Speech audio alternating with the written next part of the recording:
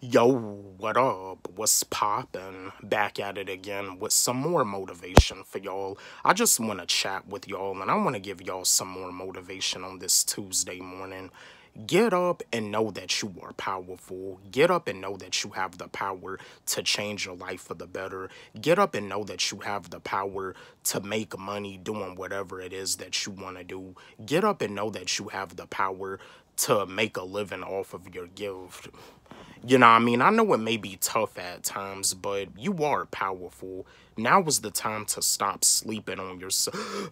Now is the time to stop sleeping on yourself. Now is the time to stop doubting yourself. Now is the time to start believing in yourself and have faith in yourself. Have faith in your in your abilities and believe in your abilities. You got to have faith. Confidence is key, consistency is key, and having the boss mindset is key you know, like some people be in a situation where it's like, you know, with, with them like quitting a job or like if they got let go from the job, they be like saying that they have to get like another job. Like, you got to change that mindset. If you really want to be a boss, you have to think like a boss. You got to have that confidence to where like you know like you quit a job or you know like you got like fired from a job like it's it's time for you to boss up. It's time for you to boss up and it's time for you to change your life for the better you probably got tired of living the average lifestyle, but get up, wake up out of your bed and know that you are powerful.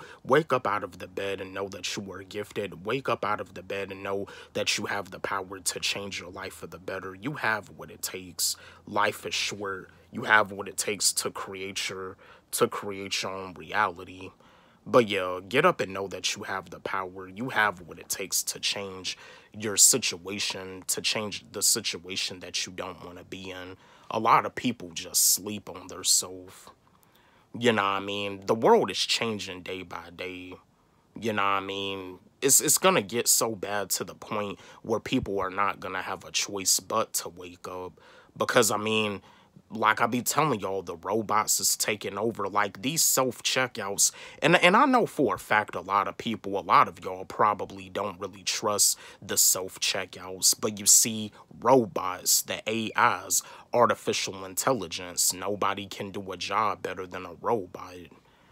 You know, what I mean but yeah, and, and, and that's the thing about it. Like, it's going to get so bad to the point where people are going to have no choice but to learn how to work the self-checkouts because they, they, they, they really pushing this artificial intelligence. They really pushing it like a lot of these cashiers is not going to have a job. They really pushing this artificial intelligence. So wake up and be prepared for what's to come.